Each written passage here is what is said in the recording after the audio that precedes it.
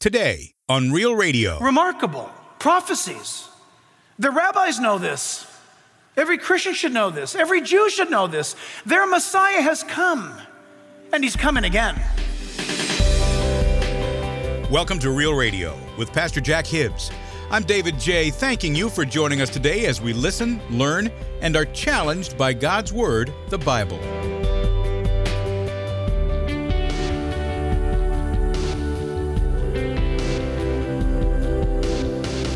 On today's edition of Real Radio, Pastor Jack, in a message called The Ministry of the Messiah According to the Bible, Part 2, continues a series now called The God of Our Salvation, the book of Isaiah.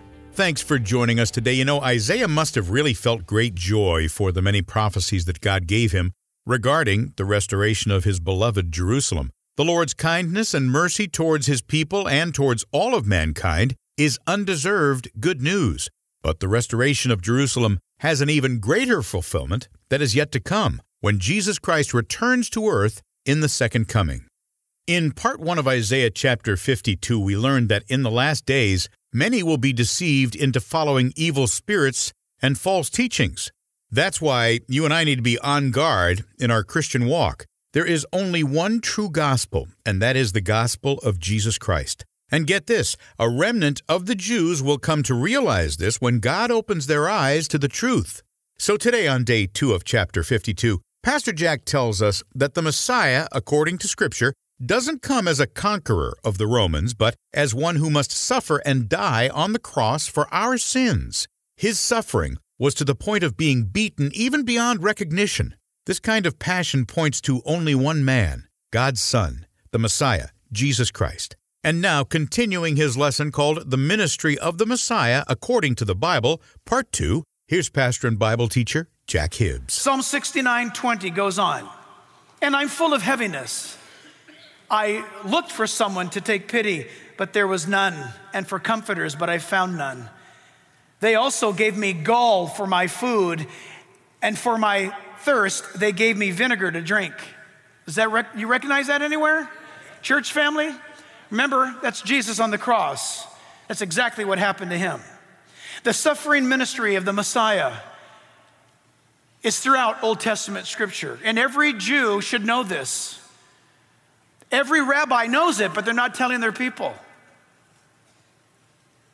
You and I know it as believers, but the Jews today, they don't study these portions of scriptures and it's remarkable. Daniel chapter 9, follow with me on the screens or in your Bible. Daniel chapter 9, verse 24. The Bible there tells us that 70 weeks are determined for your people. This is the angel through God speaking to Daniel. 70 weeks or 490, if you want to write this down. 70 weeks, it's uh, Babylonian uh, time, 360 year, which your Bible is. It's a heptad. It means 70 weeks, 490 years is what that means. Watch this. 490 years are determined for your people, that's the Jew, and for your holy city, that's Jerusalem. Number one, according to the ministry of the Messiah, that's prophesied to Daniel. Number one, to finish the transgression. Number two, to make an end of sins. Three, to make reconciliation for iniquity. Four, to bring in everlasting righteousness. Five, to seal up vision and prophecy. That's not happened yet, by the way. Prophe- vision and prophecy is not done. When the, when, the, when the scriptures are fulfilled, then it's done. And to anoint the most holy, that's the day of, that's what's known as the day of God, when eternity begins. No more sin, no more possibility of sin. That's forthcoming. Verse 25, watch this. So he's saying, Daniel, heads up. Here's a code. Make sure the Jewish people know it. Know therefore and understand that from the going forth of the command to restore and rebuild Jerusalem, that's March 14th, 445 BC. You can read about that in the book of Nehemiah. Until the Messiah, the Prince, there shall be seven weeks, that's 49 years, and 62 weeks, that's 434 years. So if you're doing the math in your head, you got 490 and God tells Daniel, break it up. Out of the 490, there is going to be 49 weeks or 49 years, and another segment, a cluster of events equaling 434 years. 434 plus 49 is 483 years. But look at the top of the prophecy. God says 490 years are promised to the people and to the holy city for a special work. When you do the math here, it's 483 years. It looks like we've lost seven years somewhere. Something's wrong. Not at all. Watch. It says 490 or 62 weeks. The street shall be built again, and the wall even in troublesome times. That's the book of Nehemiah, verse 26. And after the 62 weeks, that segment, that cluster, that 434 segment, the Messiah shall be cut off. The word cut off, uh, two words in English, one word in Hebrew. The Messiah shall be killed for committing a capital crime. What? What crime to the Jewish leadership could Jesus have committed that would have required him to die? Say it again. For saying he was God. In your New Testament, you remember when Jesus, when they say, Are you the Son of God? He said, It is as you say. And remember, they tore their clothes and they said, We have no more need of anything. That's it. He's done. He's uh, to the cross, he goes. Interesting that was on the 483rd year from the prophecy of March 14th, 445 BC. 490, you count 483 years according to Daniel's prophecy, and that's April 6, 32 AD, when Christ comes into Jerusalem that week he was crucified. That is pure science. You can't get away from it. If you're a skeptic in the house, you need to go study Sir Isaac Newton, who started this study, he broke it all down. The scientist, you know who he is? Sir Isaac Newton. And then uh, Sir Robert Anderson picked it up and wrote a book. You can buy it anywhere. It's called The Coming Prince by Sir Robert Anderson. Remarkable prophecies. The rabbis know this. Every Christian should know this. Every Jew should know this. Their Messiah has come, and he's coming again. And Isaiah is crying out to a people. In fact, can I say Isaiah has been crying out for nearly 3,000 years? Isaiah chapter 50, verse 6. I gave my back to those who struck me. This is a messianic prophecy. Can you think of anybody in history who, in context of the Jewish nation, who Hebrew prophets are prophesying, where the Bible says, I gave my back to those who struck me, and my cheeks to those who plucked out my beard. I hid I, I did not hide my face from shame and spitting. Who could that possibly be? So let me read that again. 743 years before he was born, I gave my back to those who struck me and my cheeks to those who plucked out my beard. I did not hide my face from shame and spitting. You would say, Well, I don't believe the Bible. All right, but you do know that this event actually took place. And you do know that this is recorded in Roman history. You do know that. You do know that Rome was a real place and it was a real empire.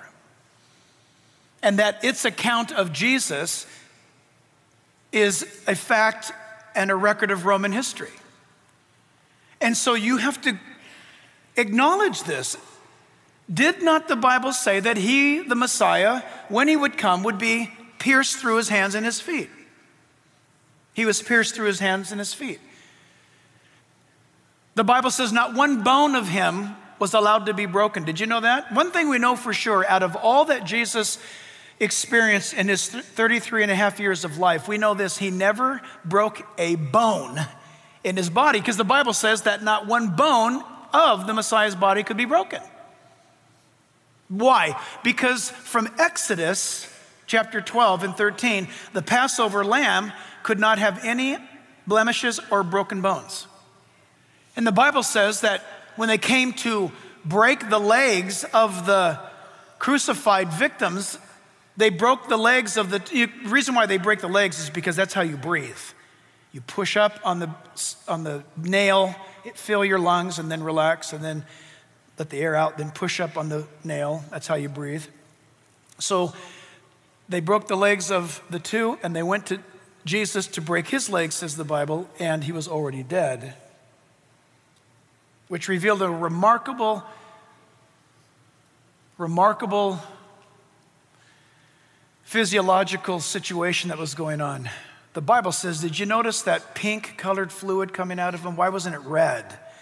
Because the Bible says that they would pierce on his right side. Bible says right side. The Bible says that his heart would have been pierced, and out of his heart came blood mingled with water which is very interesting and extremely rare because that means the pericardial sac of round that surrounds your heart, Jesus's had been filling up with so much water, which means this that Jesus was suffering beyond what they had ever known anyone to suffer like that before. His heart was actually breaking and being crushed by this amount of water that was basically strangling his heart for us. Christopher Hitchens wants to talk about a maniacal, mean, ugly God. If our God was maniacal, mean, and ugly, then you and I would be on that cross. Atheists miss the whole story. And you'll miss the whole story if you don't know his word. Zechariah chapter 13, verse 6. I'm going to give you this in numerous versions because it, I don't know, it ministered to me in an awesome way. And this is a great lesson for all of us Bible students. Get, get your Bible ready. Turn to Zechariah. It's a little bit beyond Isaiah. Just keep going to the right, going to the right. Depends on what Bible version you have. You may have New King James or NIV or ESV, whatever you've got. Watch this. The translators struggle with this, and the, and the publishers of your Bible. You know, you have Zondervan, I don't know who you have, Zondervan, Ryrie, uh, you know, Tyndale publishers. Some publishers you need to stay away from. Zechariah 13, verse 6, this is the King James Version. Watch this. Now follow along with me. And one shall say unto him, What are these wounds in thine hands? And then he shall answer, Those with which I, and he, was, he went on to say, was wounded in the house of my friends. Notice the word hands. See that in the previous slide? King James Version says hands. Okay? Zechariah 13, 6 in the New King James Version and the New American Standard Bible says, And one will say to him, What are these wounds between your arms? Then he will answer, Those with which I was wounded in the house of my friends. You see the difference? King James says hands. New King James and New American Standard says arms. Zechariah 13, verse 6 in the NIV, the New International Version. NIV, maybe you have an NIV. It says, If someone asks, What are these wounds on your body? they will answer, The wounds I was given at the house of my friends. So we go from hands, arms, body. Zechariah 3:16 ESV, the English Standard Version. And if anyone asks him, "What are these wounds on your back?" he will say, "The wounds I received in the house of my friend." So we go from hands, arms, body, back. The New Living Translation, Zechariah 13 verse 6. And if someone asks, then what about these wounds on your chest? He will say, I was wounded at the house of my friends. Just normally, when you see words changed like this in versions of the Bible, uh, you just want to study more and you want to go back to various manuscripts because that's, that's the point of origin. Uh, by the way, that's why one of the reasons why the Dead Sea Scrolls is so wonderfully important to us. Here's a precious thing about Zechariah 13 6. And let me tell you again hands. What are these wounds in your hands? What are these wounds in your arms? What are these wounds in your body? What are these wounds on your back? What are these wounds on your chest? You know why the translators have different words there?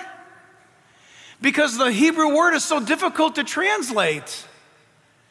The King James translators, they were brilliant.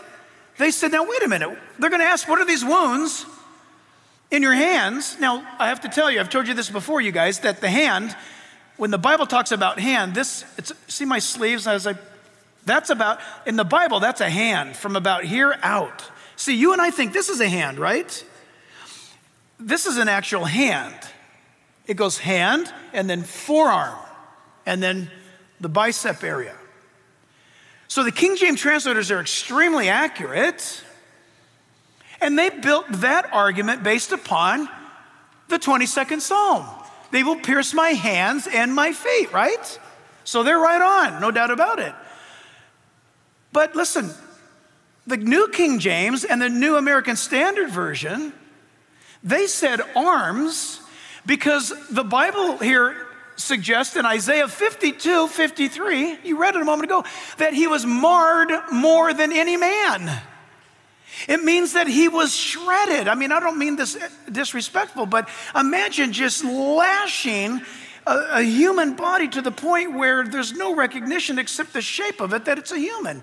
So when they used the word arms, they were being accurate. They were accurate. You say, well, yeah, but Pastor Jack, I've got an NIV and it says the word body.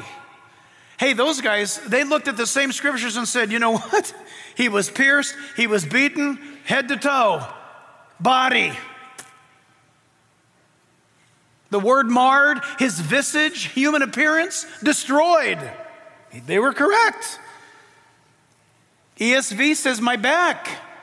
Isaiah says he gave his back to the smiters. He was shredded. That's accurate. New Living says chest. All accurate. What's the point? This is the price that was paid for your sins and mine. Jesus was completely mangled. According to the Bible, the Messiah of Israel and the Savior of the world had to first suffer before he could offer you salvation. Tell your Jewish friends that. Tell your Muslim friends that. And, Christian, if you know that in your head, do you know it in your heart? And listen, I'm going to ask Gia to come on out. We're going to end a little early in some worship. And I'm going to ask you I know we don't have carpet yet. We're going to dim the lights. I'm going to ask you if you just want to privately take this moment. You saw Mel Gibson's representation of the price that was paid for you. But you know what? Maybe tonight is a night when you just want to just stand up or get on your knees or come forward down here as a believer, or maybe you want to become a believer. It doesn't matter. But you would say tonight, if you're going to do this, you're going to say, Jesus, thank you so much. Thank you so much. And Lord, I worship you. Let's just end right now with some worship and thanks that the God who died on the cross for you loved you and paid a price for you, that you would not have to go to hell, but be forgiven and be with Him in heaven forever. And that is worthy of our praise.